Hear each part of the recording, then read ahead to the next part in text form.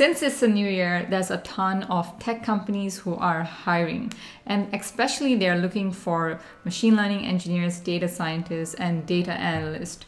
This is also the same for a lot of startups. So I really wanted to make a video on how you guys can land an entry level role as a machine learning engineer at a startup.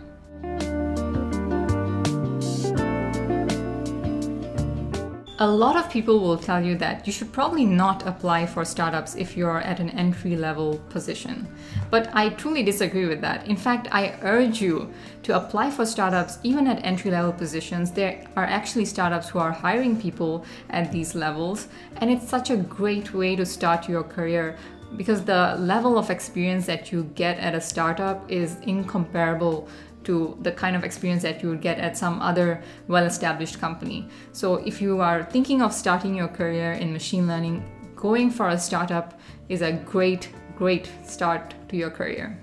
I've broken the whole process down into five really simple steps that you guys can follow and hopefully successfully land a role at a startup. So, step number one is identifying the industry that you want to work in. Step number two is checking out popular websites like angel.co. Step number three is building a really powerful portfolio and profile. And step number four is connecting and building connections with people in your startup. Step number five is to apply. Step number one is identifying the exact type of industry that you guys want to work with. A lot of people actually skip this step because they don't think that it's important, but uh, it's such an important step and you guys should not skip it. So, for example, working in a fintech company versus working in a health tech company, the type of data that you're going to be dealing with is completely different.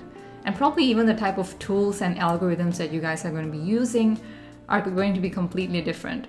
So, yeah, you're machine learning engineers in both of these companies, but the type of work that you're doing is completely different. So, identifying exactly the type of industry that you want to work with is such an important thing, and that should be the first step that you guys do. To identify the type of industry that you guys want to work with, you can probably look at your own portfolio. You know, what kind of projects have you done, and what kind of projects really stood out to you and you actually enjoyed working with. So, you can kind of align that with the type of industry that you want to go into or if you're someone who is probably starting out and you could be more open to the type of industry that you want to work with as well. So that's perfectly fine. Step number two is looking at various job posting websites. The most popular ones are obviously LinkedIn, Glassdoor, these type of uh, websites, but I find that uh, they're not really that great, especially if you want to look at startup jobs. So that's why I really recommend angel.co. It's a much better website and it's catered to startups. It's a great website where you can see the type of funding level that startups are at. Uh, you can even see the organization structure. So, who's the CEO? who's a recruiter, what kind of people are in your team, who's exactly in your team. So you can see all of that on angel.co, which you can probably not see on LinkedIn. So I think it's a great advantage to look at a website like that. To give you guys a better understanding, let's look at the angel.co website. So to be able to access all the jobs that they have on there, you do have to create a profile.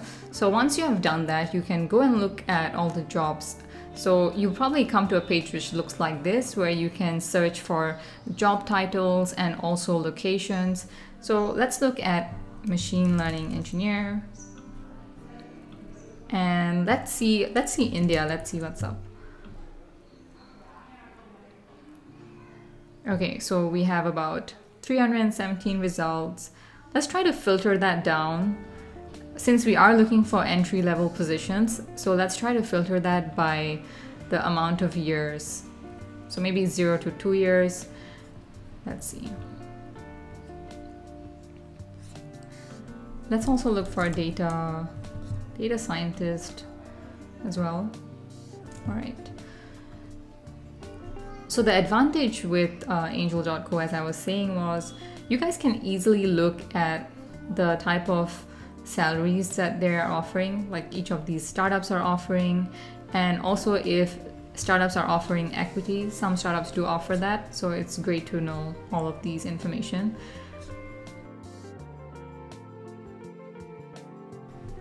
So guys, let's look at this company called DeepAffects. DeepAffects is a cloud based voice intelligence platform driven by AI for, for the enterprise to quickly integrate secure, scalable, and highly accurate speaker identification. So they're looking for a machine learning engineer in Mumbai.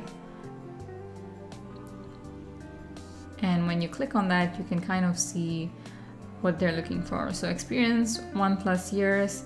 You can kind of say this is entry level and uh, you can see exactly what you'll be doing as well.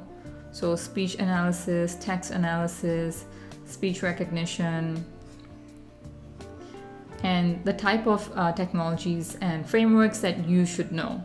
So a solid understanding of classical machine learning and deep learning concepts and proficiency in Python, C or Java, proficiency in machine learning tools such as TensorFlow, Keras, Caffe, PyTorch, or Theano. Okay. And an advanced degree in computer science. So they have all this information and an email where you guys can actually reach out to the company as well. You can also see exactly the type of capital that the company has raised. So you know what type of uh, startup level this startup is at, and you can see who the founders are as well. So these two people are the founders.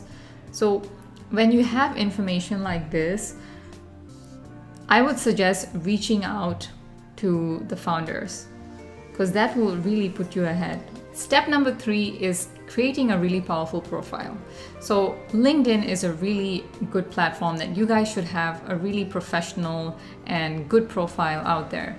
So, one of the first things is have any certifications that you guys have done, whether it's on Coursera or Udemy, have it listed on your LinkedIn so that people know the type of certifications that you guys have completed.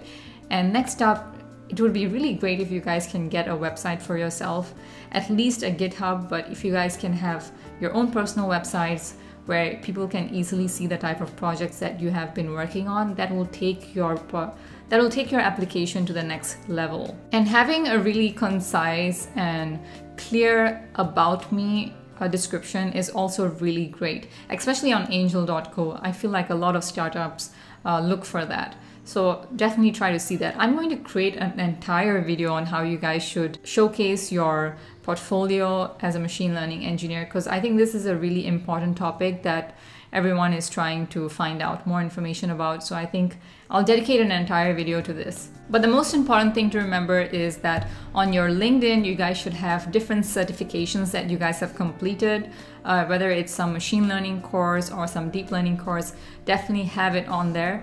And also have a link to your GitHub somewhere on your LinkedIn.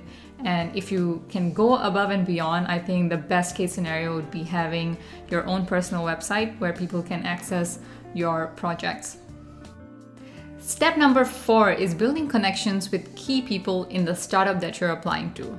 So, whether it is the recruiter or even the co founder or CEO, it should be someone who actually has some decision making process into whether you're going to get hired or not. So, the best way to build connections is obviously connecting with uh, this person on LinkedIn. That's one of the best ways that you guys can go about it. Reach out to them uh, tell them what you do you know tell them the projects you've done tell them why you are interested in their startup and what you can bring to their startup so when it comes to startups they're obviously looking for people who can wear many hats people who can do many roles and many functions so it really helps if besides being a machine learning engineer maybe you have some sort of other experience which is valuable to them as well so Unlike companies where you can technically just maybe apply online and send your application in online, it really helps if you can actually connect with someone at a startup before actually sending in your application. This will take your entire application to a different level because they've actually gotten to know you and you've actually taken time and effort to reach out to them, which is really important. A lot of startups are understaffed and they just don't have the resources to go through tons of applications. So they usually tend to hire people that they already know who are qualified for the job. So it really helps if you are someone who has taken time and effort to actually reach out to someone who is a key player at a startup. So that really pushes your portfolio and that really pushes your application forward. So once you've done all that, the last step is to actually apply. So technically at this stage, you can go ahead and actually send your application into their website, or you can even just send your application in to the person you're contacting through to LinkedIn or even email. Okay, so that was a lot of information to take in. So let's have a recap. To successfully get a role at a startup, there's five key steps that you guys can follow.